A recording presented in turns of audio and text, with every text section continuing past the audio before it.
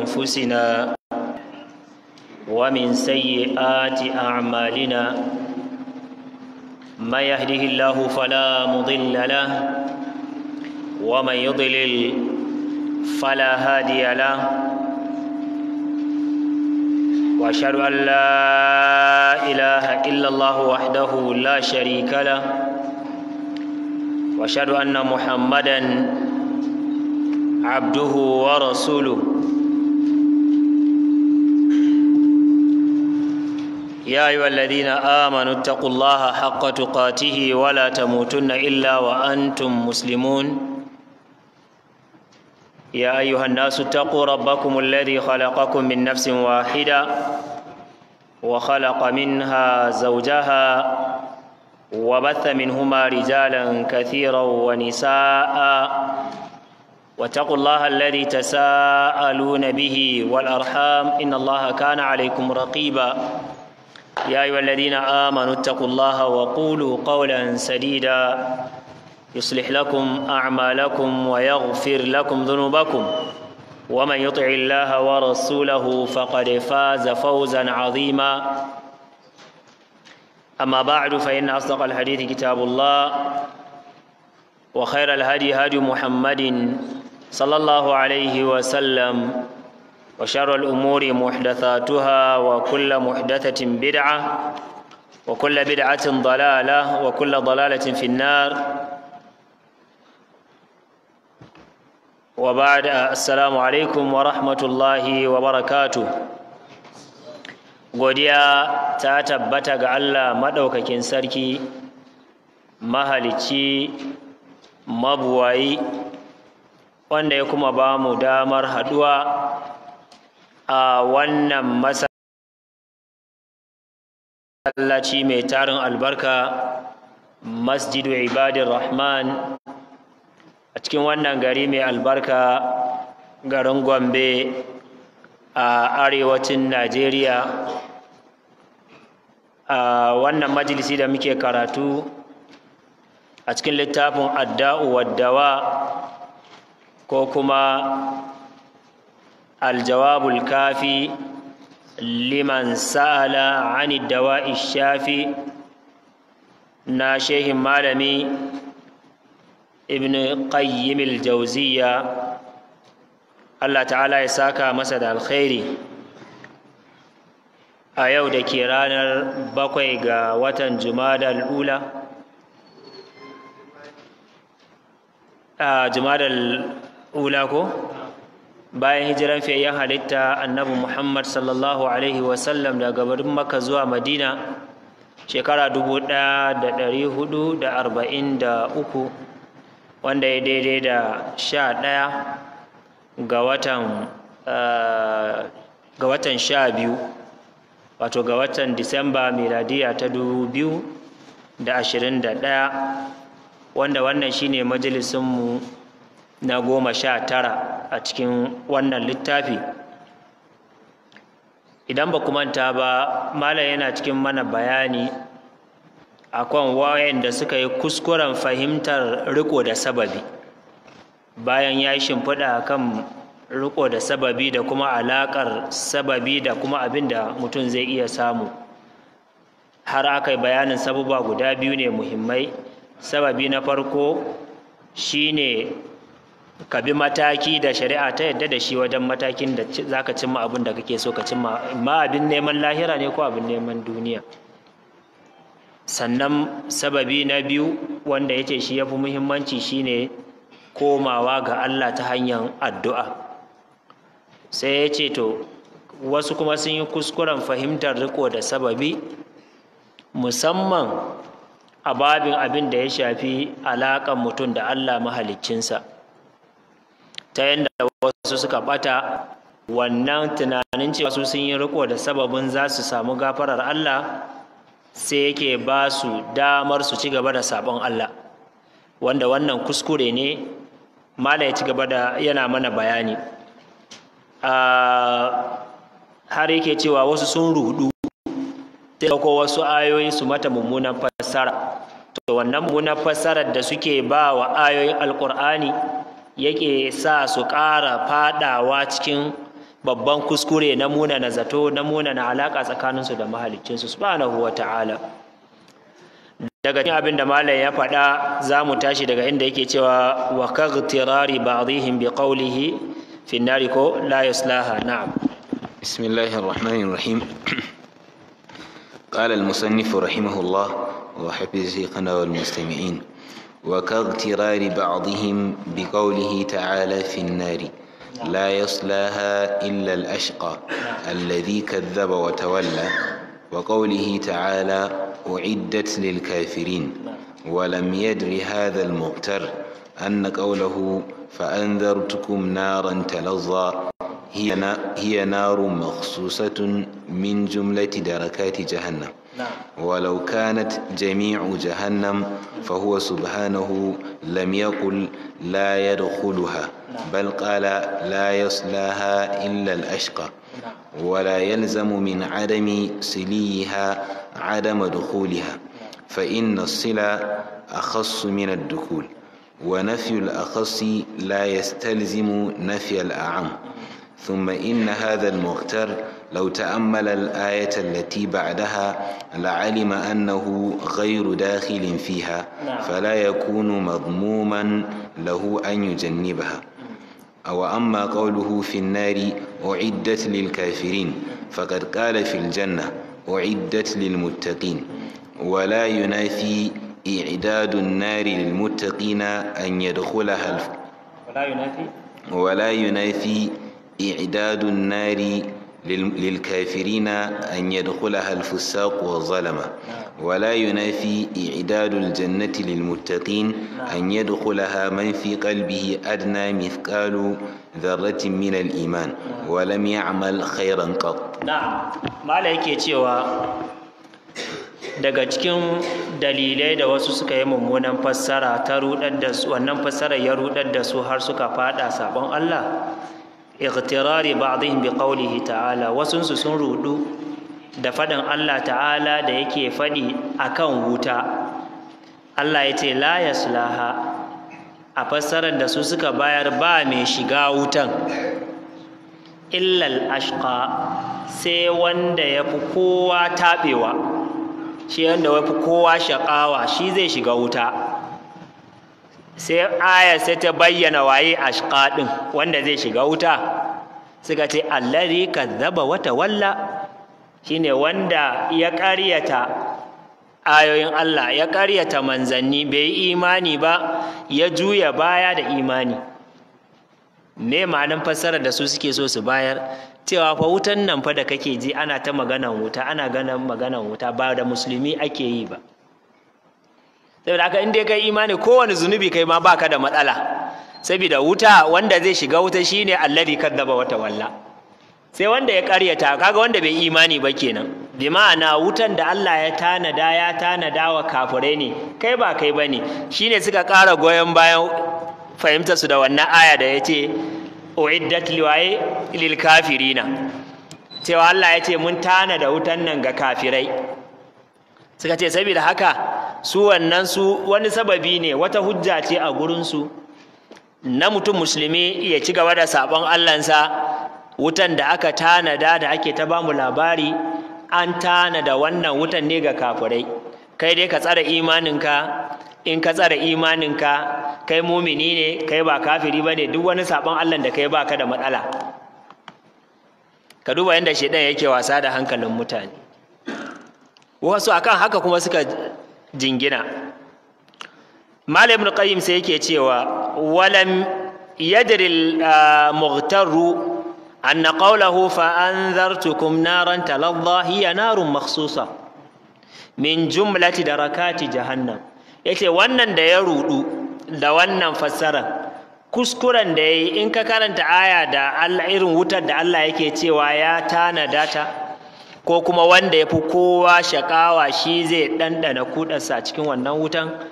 Allah ya faɗi irin wutan naran talazza fa anzartukum naran talazza.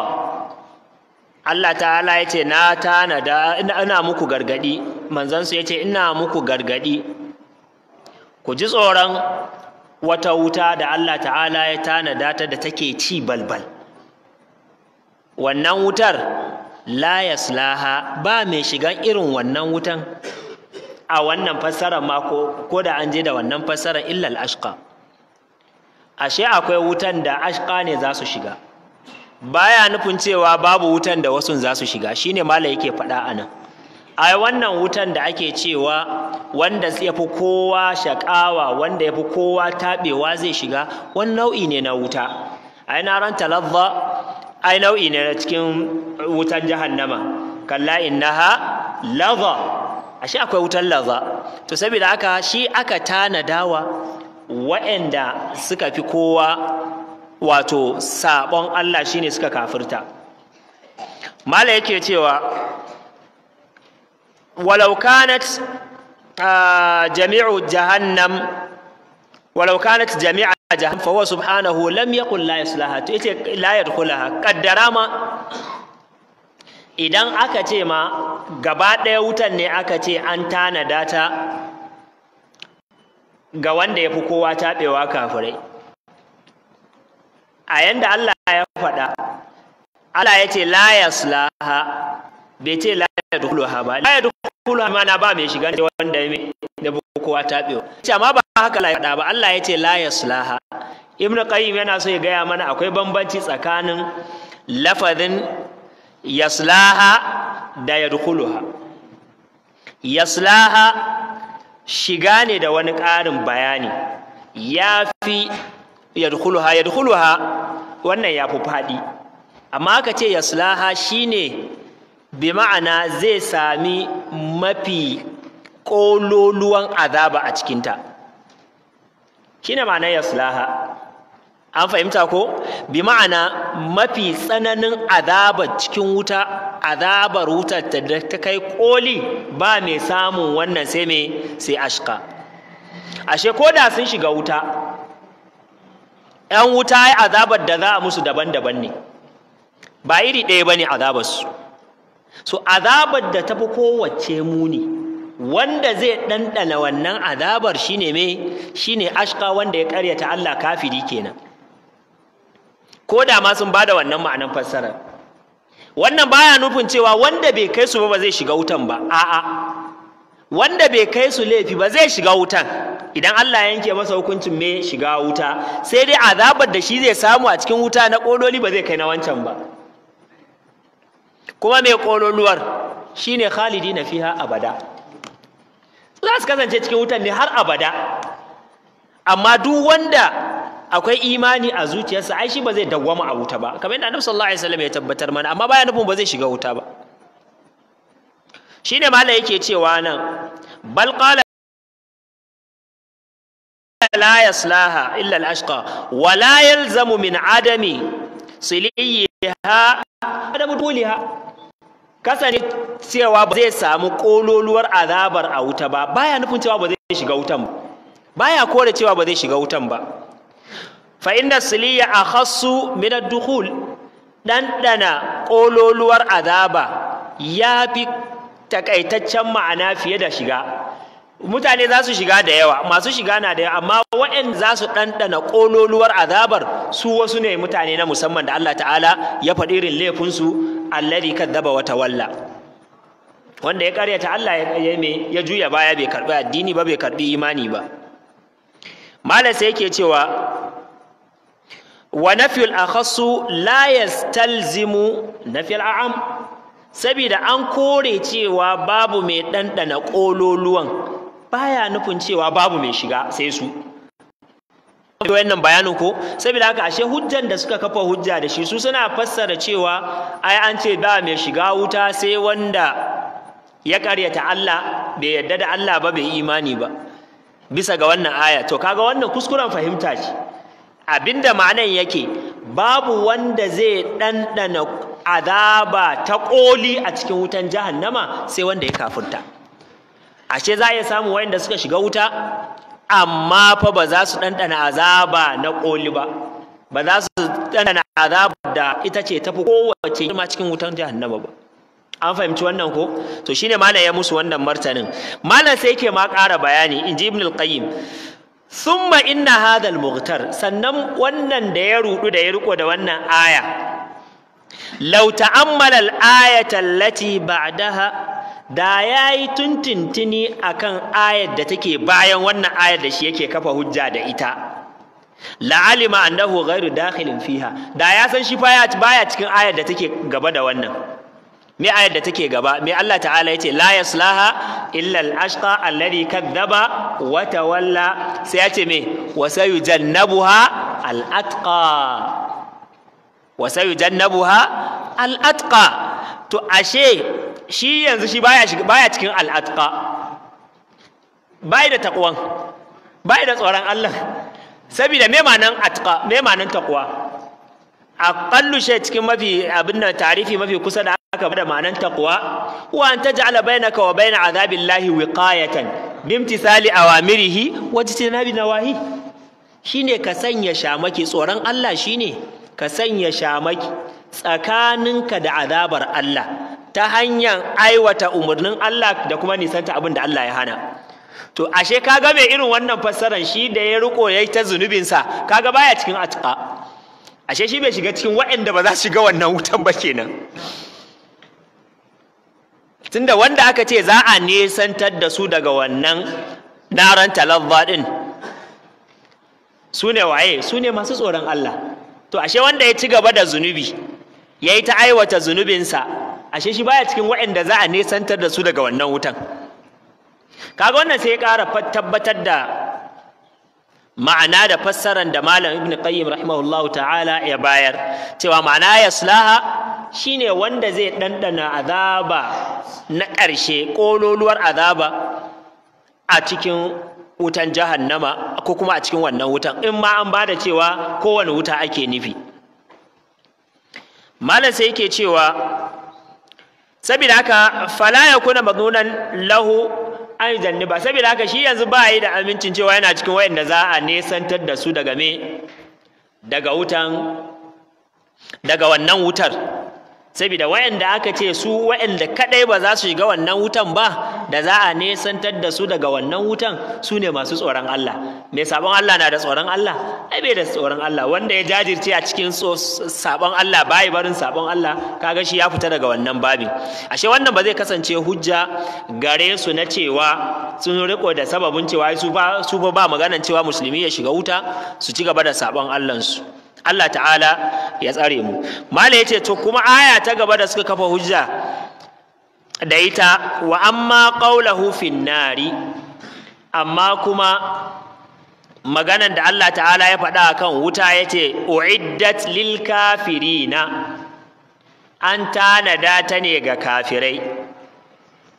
Wannan ne wuta ko? An tanada wuta ne ga kafirai. Su suna so su fake da wannan su nuna cewa ai ba mai shiga wuta sai kafiri. Tun daga shi nan an ce uiddat lil kafirina. Ai kafirai aka tanadarwa. Malam ibn qayyim sai yake cewa faqad qala fil jannati uiddat lil muttaqina. Ai Allah kuma ya ce aljanna an tanada ta ne ga masu tsoron Allah. To in baka shiga wuta ba baka shiga aljanna bai na zaka shiga? Kaga wannan ya nuna cewa ashe aljanna dama ai gida biyu ne gobe kiyama. Fa minhum shaqiyyun wa sa'id. Imma shaqiyi dan wuta imma sa'idi wanda ya samu sa'ada shine wanda ya kasance dan aljanna. Allah ya sanya mu cikin aljanna. To saboda haka idan an tana da wuta ga kafirai ne to an tana da aljanna ga waye? Ga masu tsoron Allah. Malam sai yake cewa saboda haka wala yunafi i'dadu annari lil kafirina an yadkhulaha al fusaq wa dhalama saboda haka don an ce an tanada wa kafirai baya nufin cewa fasikai da azzalumai da masu zunubi ba za su shiga ba baya nufin cewa kafirai ne kadai za su shiga a'a amma an kira ta cewa an tanada ta ne ga kafirai saboda su ne za su ɗanɗana ƙololuwar azabar kuma su ne za su dawwama a cikinta. Baya nufin cewa fasikai da kafirai ba za su shiga ba. Abin da da da azzalimai da masu wasu zunuban da bai kai kafirci ba. Mala yake cewa kadhalika wala yunafi idadul jannati lil muttaqina an yadkhulaha man fi qalbihi adna mithqalu dharratin min al iman wa lam ya'mal khairan qat. Kamar yadda Allah ta'ala ya ce ai aljanna ya tana ta ne ga masu tsoron Allah. Baya nufin cewa wanda shi ɗan ƙaramin imani ne mafi ƙarancin imanin da mutum yake buƙata a ce masa mumini. Ka ce minimum requirement kenan ko? Na mumini. Shi wannan yana da shi. Baya hana cewa ba zai shiga aljanna ba. Zai shiga aljanna. Wa in kana a level na a ce masa muttaqina ko kuma muttaqin ba shi bai kai wannan matsayin ba. Ai za a samu wanda yau ya imani ranar ya mutu. Shine walam ya'mal khairan qat. Ba an samu a zamanin annabi sallallahu alaihi wasallam ba. Wanda daga yin shahada daga, karɓan shahadarsa ya shiga filin daga nan yayi shahada. Ma sajada lillahi sajda. Bai taba yi wa Allah sujjada ba. Kuma yana cikin babban aljanna firdausul a'la tare da annabi. To kaga ashe saboda an ce lil muttaqina bi ma'ana wannan sifa ce na kololuwan wayanda suka samu aljanna. Baya nufin wanda bai kai darajar su shi ma ba zai samu ba. To saboda haka kaga wannan kafa hujja da cewa mutum ya fake yana tunanin cewa wuta fa ba muminai Allah ya tanadawa ba to wannan babban kuskure ne. Ka kuma ta aya can baya kafin wannan aya kawo nukdan da suke cewa ai Allah karimi ne. Ba karamcin Allah ai ya wuce azabtar da bawansa me zai yi da azabtar da mu? ko ba haka ba to wannan duk yana daga cikin iqtirar mutum ya rudu shi dan ya rudar da shi Allah ta'ala ya tsare mu na mala yake cewa wa ka iqtirari ba'dihim بالاعتماد على صوم يوم عاشوراء نعم أو يوم عرفة نعم. حتى يقول بعضهم صوم يوم عاشوراء يكفر ذنوب العام كلها ويبقى صوم يوم عاشوراء صوم يوم عرفة زيادة في الأجر. نعم.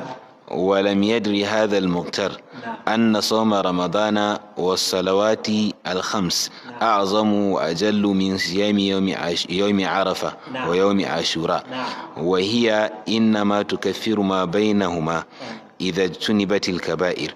فرمضان إلى رمضان والجمعة إلى الجمعة لا يقوي لا يقويان على تكفير الصغائر إلا مع انضمام ترك الكبائر إليها نعم فيقوي مجموع الأمرين على تكفير الصغائر na'am mala ce ga wasu kuma yanda abinda tanan su suke bata kuma suke ruduwa shine ightirari ba'dhin bil i'timadi ala sawmi ashura wasu daga cikin su suna ruduwa da azumin ranar ashura. Ayan tambaya annabi sallallahu alaihi wasallam an sawmi yawmi ashura? Cewa azumin ranar ashura wato ranar goma ga, ga watan muharram falalan azumin. Annabi sallallahu alaihi wasallam ya ce me to kafiru sanatal madiya. Ko ba haka ba? In kai ta kankare maka abin nan kurakuran da kai shekarar da ta wuce. Wasu kuma suka ce a yau mai arafa ko kuma ranar arafa. An tambaya annabi sallallahu alaihi wasallam akan azumin yau arafa. Sai su kafiru sanatal madiya wal baqiya. Za a kankare maka kurakuranka na na shekara biyu. Shekara mai karewa da shekara ta gaba. To saboda haka mutum sai su abin da shedan ya zayyana musu. Tunda Allah ya sa ka samu dace kai azumin ranar arfa. Na farko kurakuranka da kai an kankare maka su. Sannan kuma ka samu kai azumin ranar ashura wannan bonus kuma kenan. Sai haka kai me za ka wani wahala cewa kana tsoron wani zunubi?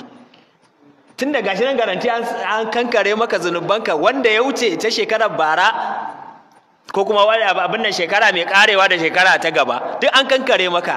Sannan kuma azumin gashi nan kuma sauran kawai ya zama ma lada ne kama na ranar ashura. Ka duba yadda shaidan yake batar da mutane. Eh, abin mu karanta abin da mala akwai wani incident da ya taɓa faruwa da mu irin wannan ba na ganin a hajjin 97 ko 98 wasu mahajjata sun zo aikin hajji. So sai aka zo ana musu gargaɗi cewa sun fara wasu abubuwa ne da malamai suke ta musu gargaɗin cewa wannan abun fa yana iya ɓata hajjin mutum. Akwai wasu ayyukan da wannan fa in ba ku ya tara ba fa za ku zo ne kawai kun zo yawon banza. Aikin hajjin ku ya ɓaci. Wani kawai daga cikinsu kawai sai ke ce to shi dan me wannan hajjin ya ɓaci? Ai hajji da ya yi ƙarshe wai ai ya hajji ne ranar juma'a. Kuma an ce wanda ya hau arafa ranar juma'a yana da ladan ko hajji arba'in ne ko hajji hamsin ne. Yace to dama shi yana da wannan rizab ko da wannan ya ɓaci ko to me matsala? Ya ayu al-insanu ma gharraka bi rabbikal karim. Ka duba yanda shedan yake rudar da mutum. Wai saboda wannan ya ɓaci ai shi ga wannan yana da arba'in. The same thing wata shekara haka irin wannan an yi abin nan a ranar ya ce to in ya ɓaci shi yana da wasu yana da reserve. Inda kuskure ɗaya da ya ce da ya abin nan sai na tambaye shi magana ɗaya sai ya ruɗe. Na ce to wannan shekara ya ce ya yi wajen shekara uku an yi ranar juma'a shi kuma ranar ya arfa. Na ce ban certificate ɗin da Allah ya baka cewa ya karɓa. Kawo shahadar da yake nuna cewa Allah ya karɓi wannan ɗin da da shi yake so ka dogara yanzu.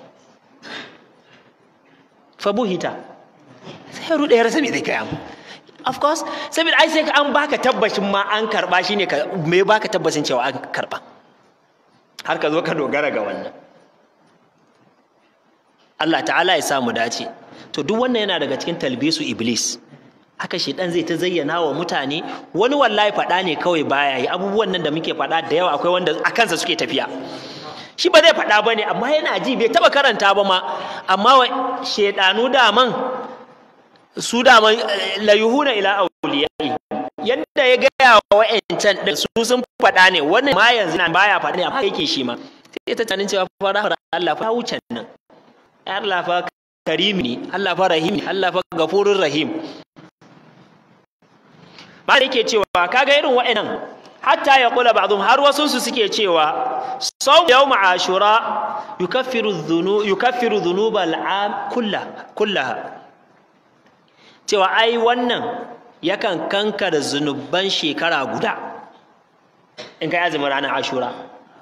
Wa yabqa sawmi arafa to azumin ranar arafa din shi kuma sai ya rage maka me? Ziyadatan fil ajr wannan ƙarin lada ne kawai. To ai ka gama aikin da kake buƙata na shekara biyu. Kai ɗaya kankare maka zunubai. Kai ɗaya kuma kawai za a baka ladan shekara biyu. To me na tsoron zunubi? Ka duba shi ɗan. Malam sai yake cewa walam yadri hadal muhtar. Yace wannan da ya shiga cikin wannan rudanin abin da bai hankalto ba abin da bai sani ba. Ku duba wannan istinbati mai ƙarfi ne ibn al-qayyim zai raddi ne kuma mai ƙarfi azumin ashura da tasu'a duk da falalolinsu. Azumumuka ne na nafila ba farilla suke ba. Abinda shi bai sani ba anna sauma ramadan cewa azumin ramadan ma wasalawatul khams da kuma salloli guda biyar a'zamu wa ajal min siyami yawmi arafa wa yawmi ashura. Wayannan da azumin ramadan da salloli guda biyar a girman lada da darajansu. Sun fi ashura da ya azumin azumin ashura da azumin arafa ko ba su fi ba?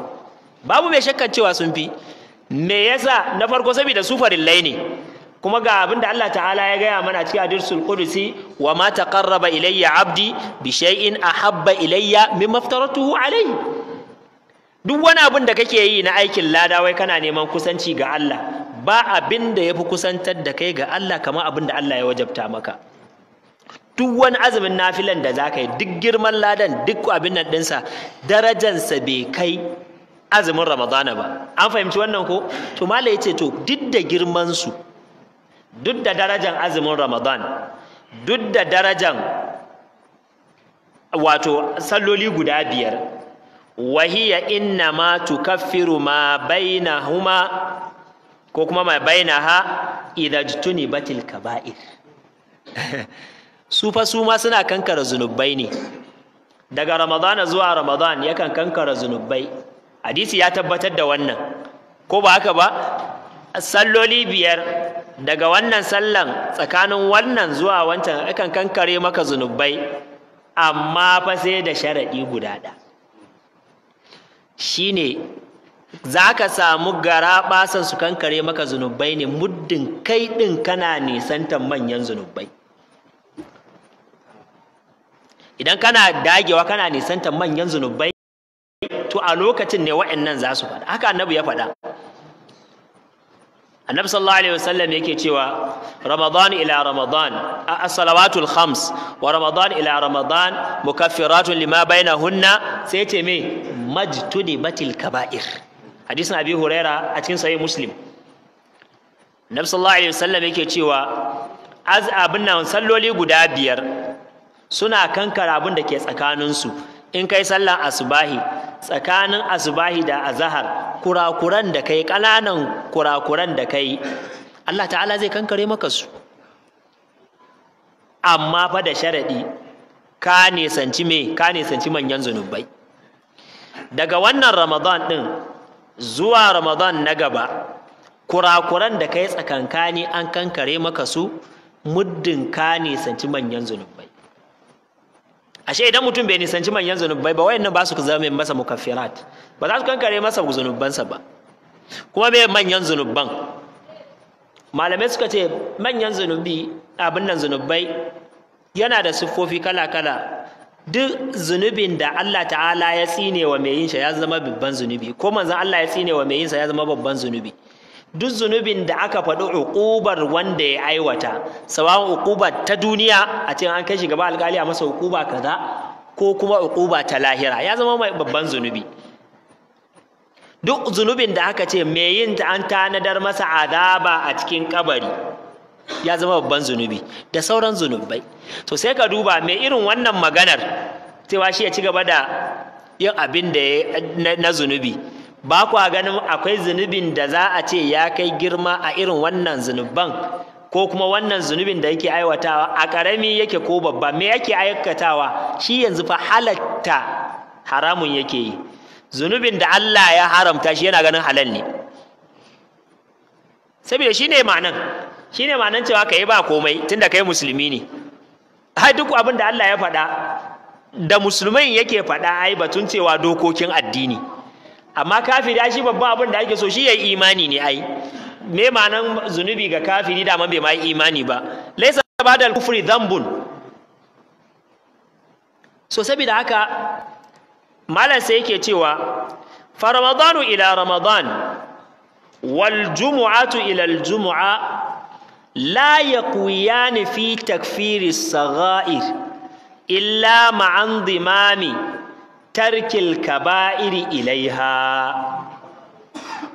kawai don mutum ya yi azumi daga wannan ramadan zuwa wancan ramadan daga wannan juma'a zuwa wannan juma'ar wa'annan ba su da ƙarfin su kankare maka zunubi sai sun haɗu da me cewa ka nisanci manyan zunubai fayaqwa majmu'ul amraini ala takfiri sagairi sai wa'annan abubuwa guda biyu sun haɗu sannan fa su samu ƙarfin da za su iya kankare ƙananan zunubai ko kuna fahimta abin da malai yake fi sai fa an samu kayi azumin ramadan ɗin da wannan da wannan kayi ka samu ɓangare ɗaya kenan na ƙarfi so ɓangare na biyu shine me ka nisanci manyan zunubai. In kai wannan ka haɗa haɗa ka tsakanin wa'annan guda biyu ɗin su ne suke kankare maka ƙananan zunubai. Ka duba fa wanne ne fa ana maganan farillai ma da suka fi ashura da da azumin ashura da azumin arafa. Malam sai yake cewa fa kaifa yukaffiru sawmu yawmin tataw yawmi tatawwu'in kull kabiratin amilaha al-abdu wa huwa musirrun alaiha. To taya mutum a hankali ma za ka zo ka yadda cewa azumin kwana ɗaya na nafiya da bai kai azumin ramadana ba taya zai samu ƙarfin ya kankare maka abin da dukkanin manyan zunubanka? Alhali mai aiwata wannan zunubin ma yana dagewa a kai yana ci gaba ba ranar tuba. wanda dagewa akan saga'ir ma yakan kai mutum ga kagaba'i ghaira ta'ibin anha baya tuba daga gare su. Sannan kuma wannan shine zai zo ya ce wai tunda ya azumin ashura da azumin arafa ya ci gaba da abin da ya ga dama kawai. Malam sai yake ce hadha muhalun. A ka karanta? To bismillah karanta. Na hadha okay. هذا محال. على أنه لا يمتنع أن يكون صوم يوم عرفة ويوم عاشوراء مكثرا لجميع ذنوب العام على أمومه.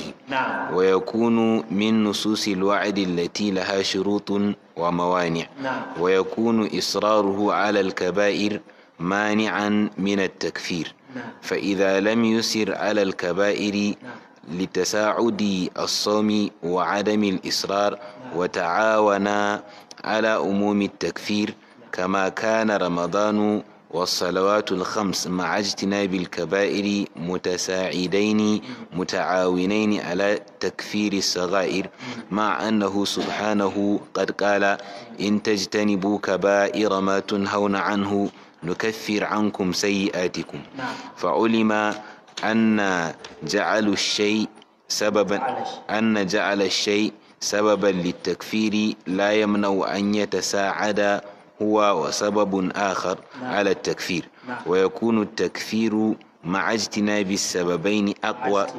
مع اجتماع السببين أقوى وأتم منه مع انفراد أحدهما وكلما قويت أسباب التكفير كان أقوى وأتم وأجمل na'am malam sai yake cewa hadha muhalun wannan hankali ba zai ba zai taba yiwuwa ba ma a ce abinda su yafi daraja yafi karfi ta hanyar farilla ta hanyar kasancewansa ibadar da Allah ya fi so azumin Ramadan wannan shi kadai bai kankare maka zunubanka tsakanin Ramadan wannan da wancan sai ka nisanci manyan zunubai Saboda haka ta ya za a zo a ce na nafila ma ya zo ya yi wannan ƙarfin har ya kankare maka zunubai. Wannan bai isa ba. Malam sai yake cewa duk da cewa ma la yamtani an yakuna sawmu yawmi arafa wa yawmi ashura mukaffira li jami'i dhunu li jami'i dhunubi al'ami ala umumi. Akan iya ma karɓa a yadda azumin da aka yi na ranar arafa azumin da aka yi na ranar ashura kaddara ma ya kankara dukkanin zunubai. Zai iya yana da karin ma ya kankara zunubai. A kaddara haka. Yana da abin na azumin ranar arfa ko azumin ranar ashura kowanne daga cikinsu yana da ikon ko kuma karfinsa Allah zai iya kankare maka zunubai gaba ɗaya da manya da ƙanana. Allah mu je a haka. Amma inda matsalar take wa yakunu min nusus ko kuma takunu ala abin nan wasu bugun. Min nususil wa'd allati laha shurutun wa mawani. Saboda haka wannan sai mu ce yana daga cikin nassoshi na alkawari da Allah ya yi wa bawansa in kai in kai aikin lada zai baka lada. Wa'annan ayyukan ai suna da sharuɗa. Sai ka cika sharaɗi kaza sai ka cika sharaɗi kaza ko? Wanda ya azumi afwan wanda ya yi sallah. Allah ya masa alkawarin lada ko Allah zai sa shi aljanna. Amma sallah ba sharaɗi ba alwala ba lokaci. Kawai inda ya yi sallah shikenan kaga akwai sharuɗa. Sannan kuma akwai mawane. Akwai abin da zai iya yiwa ka cika sharaɗin amma ga wata matsala kuma ta hana samun wannan ladan. Bari ƙara ba mu misali kafin da abin da malai kawo da ita sallar. Mutum ya yi alwala. Ina fata an gane. Ya yi wala ya ci kaga wayannan sharuɗa ne duk ya yi da ya zo sai ya yi sallah sai bai karanta fatiha ba da gangan. Kaga ya ya cika ya yi akan lokaci da sauransu. Me ya hana karɓan sallansa za mu ci ai an rasa wani abu ne an samu matsala. Ko ba haka ba? Da sauran abubuwan da ko kuma mace a ganin ta ita ta yi alwala gashi nan zahiri mun ga ta yi alwala. A daidai kan lokaci ba ba maki mafi awwali waqtiha. Sai ta tashi ta yi sallah. Da ta yi tambaya wani malami bisa ga tambayan sai ce ai baki sallah ba ki da sallah. Me yasa ashe bata bata yi wankan janaba ba. Ashe bata yi wankan haila ba. Kaga akwai mane. Saboda tana tare da al'ada abin al'ada. Wannan ai kaga wani abu ne da zai hana a karɓi wannan ibada ko da ta cika. To saboda haka duk abin da Allah ta'ala ya ce in kai kaza ga ladan da zan baka yana da sharuɗa yana da kuma abubuwan da za su iya hana ka samun wannan. Ashe idan haka yi azumin ramadan a azumin ashura da azumin abin nan arafa kaddara ma suna da ƙarfin su kankare maka zunubai. Suna da sharuɗa kuma suna da abin da zai hana samun wannan ladan. To malam sai yake cewa to a irin wannan bayanin da muke ciki da mai kafa hujja da wannan me zai kasance masa abin da zai hana ma ya samu wannan ladan abin nan ashura din shine me? Wa yakunu israruhu alal kaba'iri mani'an min at-takfiri. Ashe dage wanda kai akan manyan zunubai wannan karan kansa yana cikin abin da zai hana ka samun me? Samun wannan dama na cewa azumin ashura ko azumin arafa zai kankare maka zunubai. Dagewanka akan manyan zunuban nan kadai ya zai zama maka me? Illar da zai sa ma ka samu wannan abin da aka ce azumin ashura ko kuma azumin arfa ranar arfa zai samu maka. An fahimci wannan qadiyar ko? Ko da ma an je a haka. Fa idza lam kaba'ir da bai dage ba wajen wato ci gaba da manyan zunubai. To latasa'ada as-sawmu wa adamul israr da abubuwa guda biyu da sun haɗa kai sun yi ƙarfi. Me abubuwan nan guda biyu? Azumin nan da ya na ranar arfa ko na ranar ashura da zai haɗu da wani ƙarfin me ɗaya ƙarfin shine rashin dagewansa akan me? Manyan zunubai bi ma'ana nisantar manyan zunubai. Sai a samu waɗannan sabuban guda biyu. Wa ta'awana da sun yi taimakekeniya ala umumi takfir da sun kankare masa zunubansa. Ko kun fahimci abin da malam yake faɗa? Ma'anan wannan shine idan kana so ka ce azumin ashura da azumin taso ana kankara zunubai. Sai ka kana so ka dage ka jingina ga wannan su kankare maka kurakuranka kana da wandamin. Amma abu biyu za ka yi. Ka yi ƙoƙari ka yi azumin yadda ya kamata sai kuma ka nisanci manyan zunubai. Ka nisanci zunubai. In ka yi wannan kana da su kankare maka zunubanka. An fahimci wannan ko? Sai an samu haɗaka. Amma ba wai mutum ya ce tunda an ce azumin an kankare masa zunubi shikenan sai ya miƙe kafa da zunubi ya ga azumin da aka kankare maka aka kankare masa zunubin shekara biyu ma. Saboda haka in advance ma shi yanzu kawai yayin zunubin ma garanti an kankare masa. A sai da wannan sharaɗin. An fahimci abin da kyau. Wannan kamar yadda na ce wasu ba za su faɗa ba ne amma da dama daga cikin mutane suna da irin wannan tunanin. In an yi wazi an kwadaitar da zuwa azumin tasowa da ashura sai ga shedan sai ta raya masa cewa kai da kai azumin ranar ashura ci gaba kawai. In ya zo zai wani zunubi ya ce fa kai azumin ranar arfa ba. Sai to hai kenan Allah ta'ala ya tsare mu. Malam sai yake cewa kama anna ramadana was salawat al khams ma'a ijtinabil kaba'ir mutasa'idaini متعاونين على على تكفير الصغائر مع أنه سبحانه وتعالى قال إن تجتنبوا كبائر ما تنهون عنه نكفر عنكم سيئاتكم أزم رمضان أي أبن الله تعالى يقول من كوي شيني إن كن نسانشي من ينزنبي الله زي كان كريمكو zunubanku bi ma'ana zai zai zai kankare muku kananan zunuban to ramadana na kankare manyan zunubai yana kankare maka zunubai amma fa shi kadai bai kankare maka. Kamar yadda aya ta zo akan cewa in dai ka nisanci manyan zunubai la'alla wannan nisantan kadai bai da ƙarfin ya kankare maka dukkanin zunubanka. Sai ka ƙara wasu ayyukan lada. Ka azumin ramadan ka yi salawatul khams da sauransu. Wannan sai kankare maka ƙananan zunubanka. Shine abin da yake so ya ce. Yace fa'ulima anna ja'ala shay'a sababan litakfir. Saboda an ce ga abin da yake sa a kankare maka kurakuranka. Wannan abin don an ce kaza ne. La yamna'u an yatasa'ada huwa wa sababun akhar. Wannan baya kore baya hana cewa wannan abin da aka faɗa fa sai ya haɗu da wani abin ne fa za su samu ƙarfin su kankare maka kurakuranka. Kaga can hadisi ya kawo na ramadan ila ramadan ko? Sai bayyana su sai hada su. Ga azumin ga aikin ibada sai ce majtuni batil kaba'ir amma kaga na ramadana na ashura da tasu'a sai aka faɗi abu ɗaya ne. Baya nufin cewa wannan shi kadai ne bi ma'ana akwai abin da ake jira. Shi wancan kai azumin ga tagomashin da zaka samu amma sai ba faɗi ce ɗaya ɓangaren ba cewa ka nisanci manyan zunubai. Kamar yadda aya ta magana cewa an kai nisanci manyan zunubai shikenan an kankara maka zunubanka. Ibnu qayyim ya ce to wannan baya hana cewa akwai ƙarin abin da zaka yi fa ka samu kankaran zunubai. Shi yake cewa wa yakunu ala takfir? Sai yake cewa wa yakunu takfiru ma'a ijtima'i sababaini aqwa wa atamma minhu ma'an firadi ahadihima. Saboda haka ashe idan suka haɗu guda biyu sun fi ƙarfi su kankare maka zunubi akan a ce guda ɗaya ake da shi. In azumin kaɗai kai tasowa da ashura kai ashe bai da ƙarfin kankare maka zunubi. Kamar yadda ƙarfin zai haɗu in ka nisanci manyan zunubai. Kamar yadda in ka nisanci manyan zunubai kaɗai bai da ƙarfi da ya kai ƙarfin a ce ka nisanci manyan zunubai kuma ka yi tasowa ka yi azumin a yau arafa. Kaga ƙarfin ya karu kenan. Wa kull malai sai yake cewa kullama qawiyat asbabu takfiri kana aqwa wa atamma wa ashmal.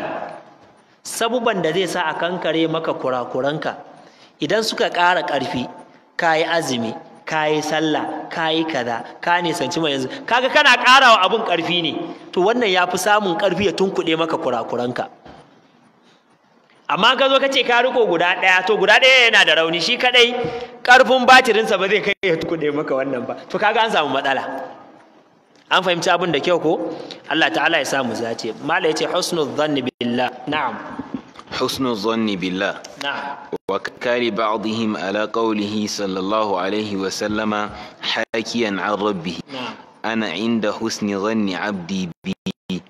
فليظن بما شاء. na'am يعني ما كان في ظنه فأفاعله به.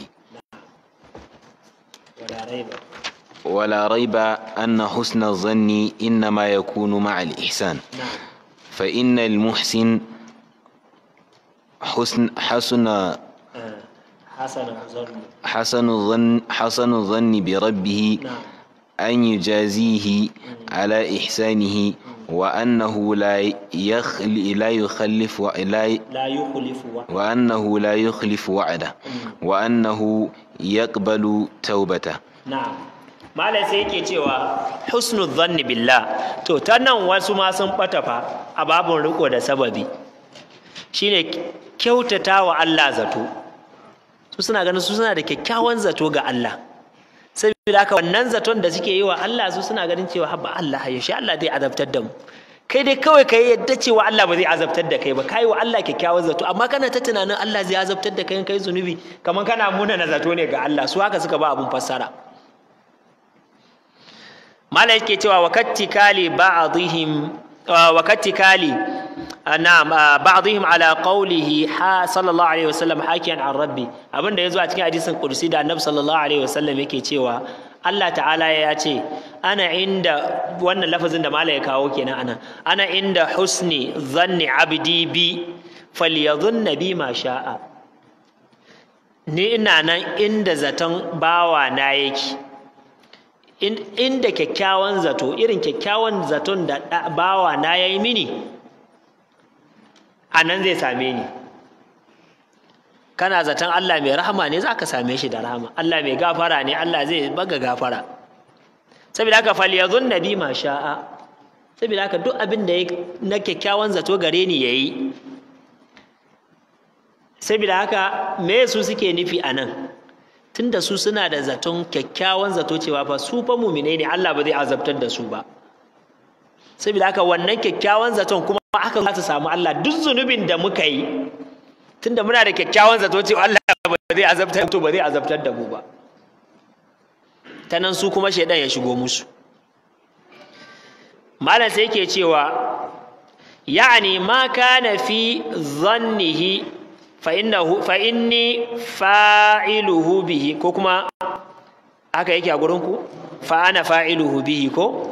La'alla shi zai sai yake cewa bi ma'ana yanda Allah ta'ala dan adam yake yi wa Allah zato to Allah ya ce haka zan yi da shi. In kana zaton Allah zai azabtar da kai Allah zai azabtar da kai. In kana zaton Allah zai gafarta maka Allah zai gafarta maka. Sai su suka fake da wannan. Saboda haka mutum ya yi sata mutum ya yi zina mutum ya yi kisan kai ce fa shi dai kawai yana da kyakkyawan zato ba Allah ba zai azabtar da shi ba. Kuma shi yana tsara a haka zai je ya samu Allah. Tun daga hadisi ya kawo. Malam sai yake cewa wala raiba babu shakka anna husna dhanni inna ma yakunu ma'al ihsani ma'al ihsani. Ai kyakkyawan zato ba zai yi ka yi wa Allah kyakkyawan zato ba sai kai ma ka kyautata ayyukanka. Wanda bai kyautata ayyuka ba ba inda zai yi wa Allah kyakkyawan zato.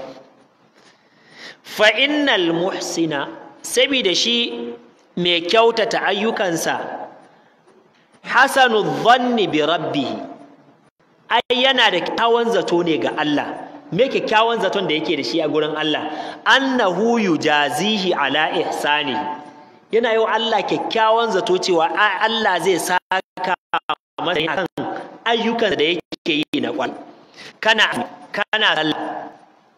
Ba da mun kyautata zato da Allah ba ne ai Allah ya ce wanda ya azumi zai bashi lada. Saboda haka wannan shine yakinin da ya sa muke yi ai. Ko ba haka ba?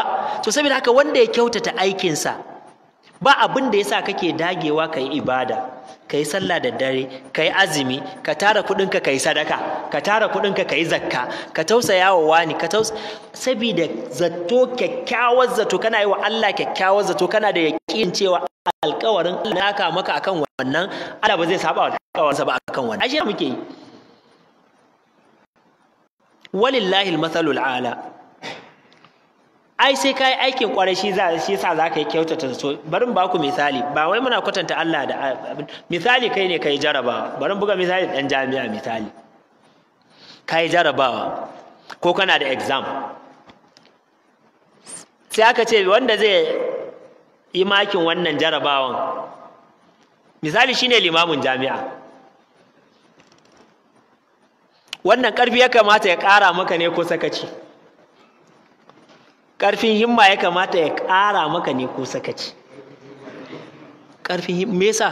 Saboda kana kyauta da tofa cewa in ka dage kai mai kyau adalcin liman wallahi ba zai zalunce ka ba. Saboda haka za ka iya cin a saboda ka masa kyakkyawan zato. Ko ba haka ba? Amma aka ce mai makin ɗin ka fara shakka. Kawai sai wahala ma a banza bari dai yi mata yassara minhu kawai. Tunda ko na yi mai kyau din ma ba shi da makas ɗinsa ba a wuce si balle ga Allah subhanahu wa ta'ala. Ai kyakkyawan zatonka ga Allah shi yake tunzura ka yake ingiza ka ka yawaita aikin. Saboda ka san Allah ba zai zalunce ka ba. Saboda ka san alkawarin Allah wala yukhlifu wa'adahu.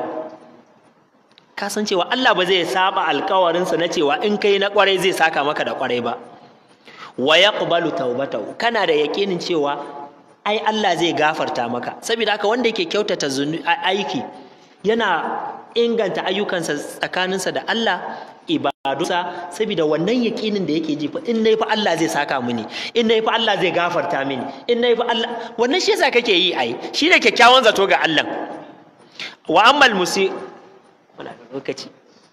To to dole za mu dakata nan. Mai yiwa muka zo in Allah ya kai mu sati mai zuwa sai mu sake daga wannan husnul dhanni billah. Amma takaicen saƙon a wannan gabar shine mutum duk malam yana magana ne akan mummunan wa a yi wa aya ko hadisin annabi mummunan fassara. To yakan jefa mutane cikin manyan laifuffuka wanda shedan zai ta rudar da su da wannan. Ya nuna musu cewa kawai ku ci gaba da abin da kuke yi babu matsala. Allah ta'ala ya tsare mu Allah ta'ala ya kare mu daga sharrin shedan Allah ya kare mu daga daga rudarwa ta shedan Allah ta'ala ya mana jagora wallahu ta'ala alam. A ƙarshe kamar yadda muka faɗa huɗu ba da kuma ake ta jan hankali don Allah wallahi ƙasar nan muna buƙatar addu'a. Babu mai shakka akan wannan. Wani hali da muke ciki yanzu nan ko a wani wani malami cikin malaman Najeriya ya ce da za a rubuta tarihi wasu za su zo su rubuta tarihin al'umman nan da yadda muke rayuwa. Ya ce zai abin zai iya bayarwa na conclusion cewa wasu al'umma ce da Allah ta'ala ya musu ɗimbin ni'imomi ta ko'ina min kulli makani amma fa kafarat bi anumillah suka kutulce wa ni'imar Allah ta hanyar sabo kala-kala da wanda ya bayyana da wanda bai bayyana ba.